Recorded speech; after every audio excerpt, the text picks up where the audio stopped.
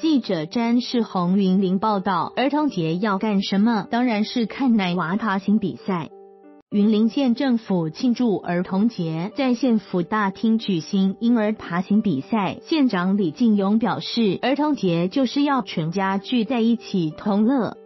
比赛一开始，一名奶娃突然起身站起来，一马当先，奋勇走向终点线。裁判则大喊违规，要用爬的。四周的爸妈则高声欢呼。第一名的奶娃被吓住了，在爬行终点突然坐下来，不知所措，反而被后头的奶娃陆续超越，由原来的第一名变成最后一名，印证了小时候不是胖这句俚语。赢在起跑点，不代表能一路领先。爸爸妈妈为吸引孩子往前爬，也无所不用其极，利用玩具、食物吸引孩子；有妈妈则直接半爬，用小东西吸引孩子往前爬，过程相当有趣。而比赛不论输赢，现场的每个人都很快乐。